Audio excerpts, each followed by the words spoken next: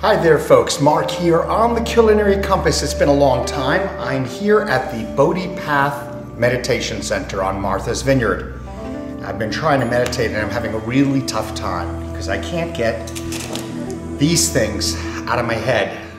Basically, it's a bunch of kitchen tools that uh, I got from my mom's kitchen. And um, the thing that's problematic for me about these, if you just take a very kind of quick peek, is um, and it's why I've had a hard time meditating today, is they tend to resemble very violent um, uh, types of objects. I, I, I, can imagine some of these things being used in, um, you know, kind of like in, in, in torture scenes uh, in a movie or maybe, maybe not in a movie. Um, and I'm inviting you and reaching out to you to help me figure out, you know, what are these things? Are they in fact kitchen instruments or not? Um, if they are, what are they used for? Um, and that would be really helpful to the Culinary Compass viewers. All right, so let's start off with this little thing. Now, I tend to think this is something, I thought this was a, you know, you basically press it down, at, you know, when you're doing cookies or something, but then I noticed this lever on the side. And the lever goes up and down, and what it does is it, it kind of moves this little razor blade in here. So I'm thinking it's related to some kind of a cut coring instrument, um, but I'm, I'm not sure. Now, this is a really nice looking tool, a very well made, nice looking handle. You can see there are some ridges on the inside.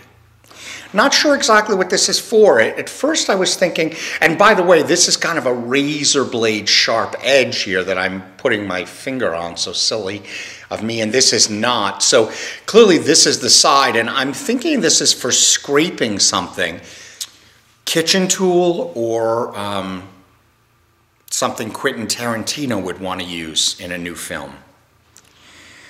Okay, um, this one this is definitely Hannibal Lecter at his best. Now, I have a feeling this is one of these tools that you put on the top of an egg. I've seen this before, I think. And you do that, and it kind of creates this perfectly cracked egg for you. Now, um, I'm thinking Hannibal Lecter.